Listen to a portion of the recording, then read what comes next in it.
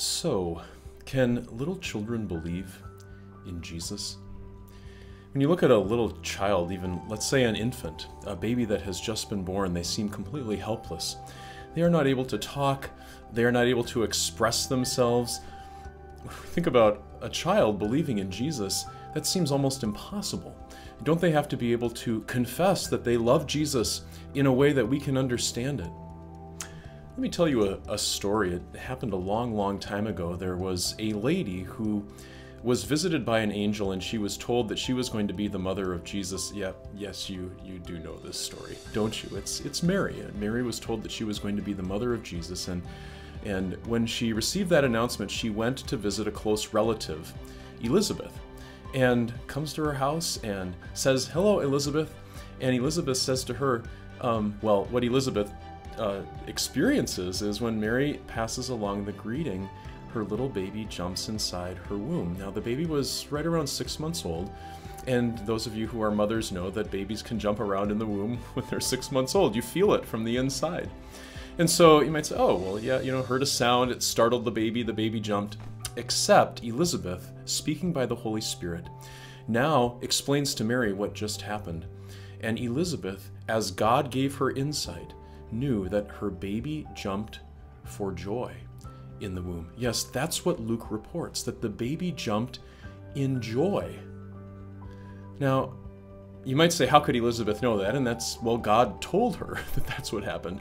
But the next question is, how could a baby have joy knowing what had just walked into the room? Couldn't see it, had no awareness, right, physically, as far as we can say with eyes? Um, I don't know how it happened.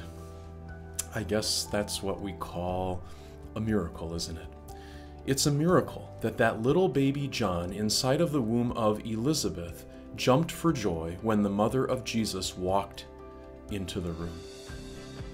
And what that reminds us of is that when we think about little children and whether they can believe in Jesus or not, no, not by their own reason or their own strength, but none of us can believe in Jesus by our own reason or strength. It's only when the Holy Spirit creates trust in our hearts by the powerful good news of Jesus that faith is present. It's, it's a miracle. It's a miracle every time. And, and, and obviously, it was a miracle in the womb of Elizabeth, and that means that little children can absolutely believe in Jesus because God does miracles. Now, the question is how does God work those miracles? Well, thankfully, He tells us he uses his powerful words to create faith. How do children hear powerful words? Well, parents speak to them, but God's powerful word is also attached to the application of water in baptism.